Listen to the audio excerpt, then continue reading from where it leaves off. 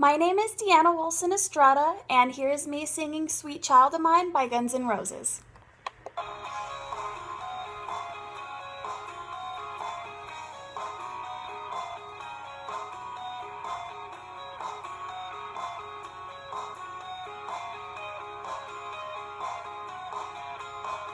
She's got a smile that it seems to me reminds me of childhood as fresh as the bright blue sky.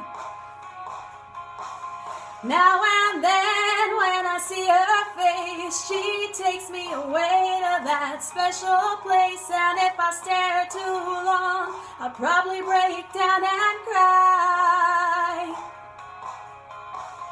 Oh, sweet child of mine.